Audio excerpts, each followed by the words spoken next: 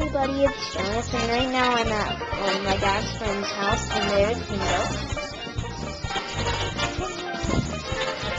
Yes, he's blind, and he's a boy, He's this is really.